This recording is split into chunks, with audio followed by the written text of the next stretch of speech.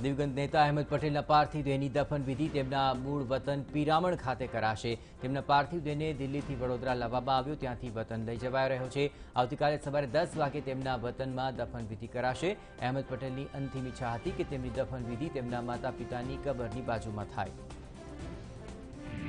કોંગ્રેસના વરિષ્ઠ નેતા અને રાજ્યસભા સાંસદ અહેમદ પટેલનું એકોતેર વર્ષની વયે નિધન પુત્ર ફૈઝલે ટ્વીટ કરીને માહિતી આપી અહેમદ પટેલ ઓક્ટોબરમાં કોરોના પોઝિટિવ આવ્યા હતા ત્યારથી તેઓ કોરોના વાયરસ સામે લડી રહ્યા હતા પરંતુ વહેલી સવારે સાડા ત્રણ વાગે મેદાંતા હોસ્પિટલમાં સારવાર દરમિયાન તેમણે અંતિમ શ્વાસ લીધા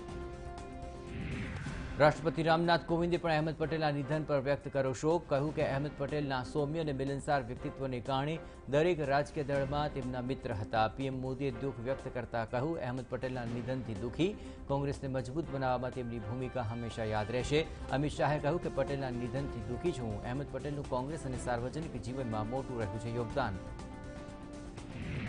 તો કોંગ્રેસના ચાણક્ય કહેવાતા અહેમદ પટેલના નિધનથી પાર્ટીમાં શોક કોંગ્રેસ અધ્યક્ષ સોનિયા ગાંધીએ શોક વ્યક્ત કરતા કહ્યું કે એક વફાદાર સહયોગી એક મિત્ર એક એવા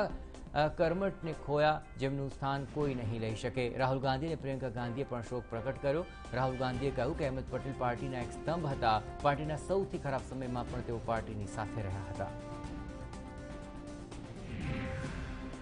તો કોંગ્રેસના વરિષ્ઠ નેતા અહેમદ પટેલના નિધન બાદ કોંગ્રેસમાં શોકની લહેર કોંગ્રેસ તરફથી બધા રાજ્યોના યુનિટને પાર્ટીના ઝંડાને આવતા ત્રણ દિવસ સુધી ઝૂકેલો રાખવાનો આપ્યો આદેશ સાથે પટેલના નિધનમાં શોકસભા આયોજિત કરવા માટે પણ કહેવાયું કોંગ્રેસ મુખ્યાલયમાં અહેમદ પટેલના નિધન બાદ પાર્ટીના ઝંડાને અડધા કાઠીએ ઝુકાવાયો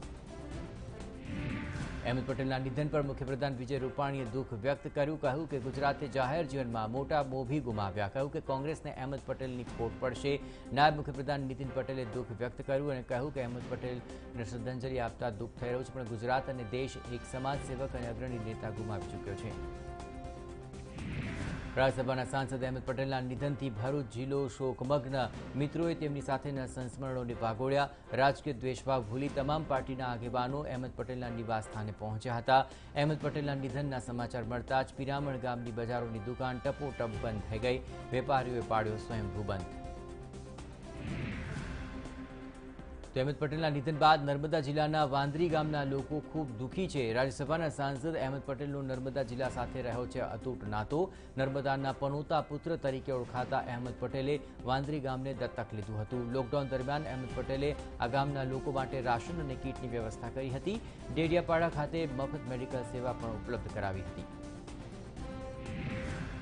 અહેમદ પટેલના નિધનથી દુઃખી શિવસેનાના નેતા સંજય રાઉતે કહ્યું કે આજે કોંગ્રેસે મજબૂત સ્તંભ ગુમાવ્યો છે. પાર્ટીની બહુ મોટી ખોટ અત્યારે પડશે. બધા કાર્યકર્તાઓ અને રાજનીતિજ્ઞોને અહેમદ પટેલ પાસેથી વફાદારી શીખવી જોઈએ. તે ખૂબ જ શાંત, ધીરજવાન, સમજદાર નેતા હતા. તેમના જવું ખૂબ જ દુઃખદ છે. હું તેમના આત્માની શાંતિ માટે ઉપરવાળાને કરું છું પ્રાર્થના.